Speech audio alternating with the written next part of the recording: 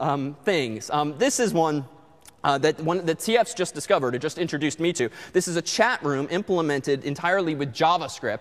Um, this is not what you think it is, but um, there is an explanation for this. It's a little chat room. So I'm going to change my name to, let's say, Sanders. Oh, here comes a TF.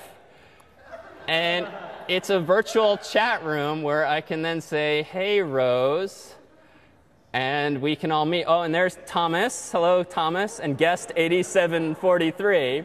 Um, now, just in my defense, what is this site? oh, a lot of you are now in here. um, apparently, this is a rumpetroll, which is the name of the website, um, uh, which translates to tadpole, but apparently more literally to ass troll. So we're not really all that far away. But this is all done. What's cool is this is JavaScript, right? So maybe I shouldn't leave this up here so long. Oh, that's great. We're talking to people on the internet. All right, this could get bad quickly, so let's close that.